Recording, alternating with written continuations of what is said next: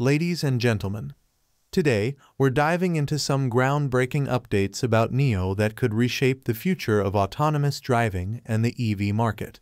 From ditching NVIDIA to developing their own cutting-edge chips, NIO is making bold moves that deserve your attention.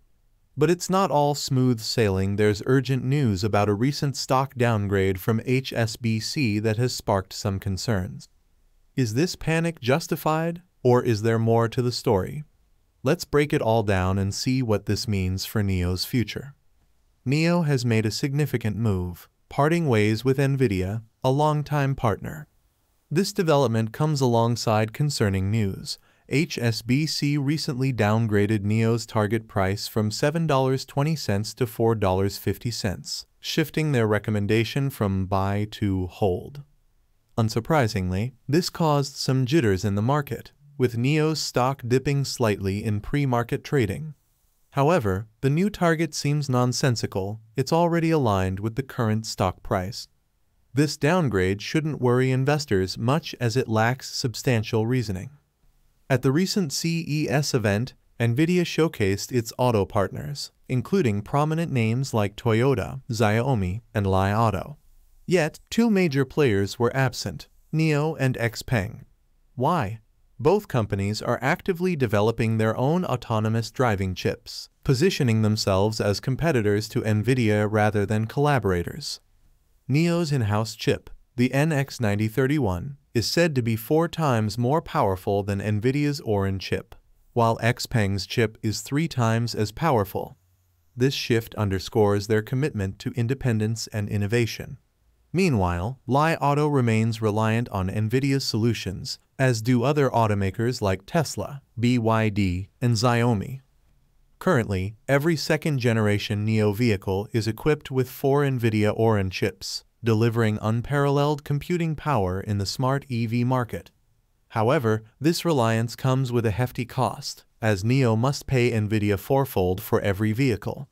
To address this financial strain, NIO has invested in R&D to develop the NX9031, aiming to reduce costs and improve profit margins significantly. The transition is happening quickly. While current models still utilize NVIDIA chips, the upcoming product updates scheduled for Q3 and Q4 this year will see the inclusion of NIO's own chip in models like the ES6, EC6, ET5, and ET5 Touring. This upgrade, part of the version 2.5 refresh, also includes horizontal screens and other features.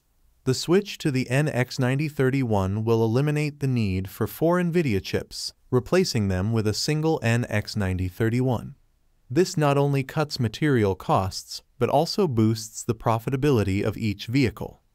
NVIDIA recently unveiled its next-generation Thor chip, which is claimed to be 20 times more powerful than its predecessor, the Orin. While this sounds impressive, the cost of the Thor chip will likely be significant. On paper, the NX90 the 31st of May seem inferior in terms of raw power. But NIO plans to equip its ET9 models with two NX9031 chips one for backup achieving computational parity with NVIDIA's Thor chip. Importantly, NIO's chip offers strategic advantages beyond performance. By developing its technology domestically, NIO is shielded from potential geopolitical restrictions. For example, if trade tensions with the US escalate, automakers dependent on NVIDIA could face supply disruptions. NIO, however, would remain unaffected, making its self-reliance a strategic asset. This approach also aligns with China's national priorities, reinforcing NIO's image as a patriotic and innovative company. The Chinese government has consistently backed NIO, highlighting the company as a leader in domestic innovation. Unlike Li Auto, which still relies heavily on Western technology, NIO's commitment to self-sufficiency has earned it a favorable reputation. This government endorsement could translate into more support and opportunities for NIO in the future. Switching to the NX9031 chip will significantly improve NIO's margins, a crucial step toward achieving its profitability targets by 2026. The cost savings from eliminating NVIDIA chips could free up resources for other strategic investments. Furthermore, if NIO's chip proves competitive in price and performance, it could potentially attract interest from other automakers, challenging NVIDIA's dominance in the autonomous driving market. The decision to part ways with NVIDIA is both strategic and forward-thinking. While NVIDIA remains a key player with advanced chips like the Thor, NIO's NX9031 positions the company as a formidable competitor. This move not only reduces costs, but also strengthens NIO's independence and market position. Over time, this shift could enable NIO to gain a larger share of the autonomous driving market, both through its vehicles and potential partnerships. In conclusion, NIO's pivot away from NVIDIA is a bold move that reflects its commitment to innovation and financial sustainability. By prioritizing self-reliance and aligning with national interests, NIO is well positioned to thrive in the evolving EV landscape. Thank you for joining us today. If you enjoyed the video, don't forget to hit the like button and subscribe to our channel for more stock predictions and market insights.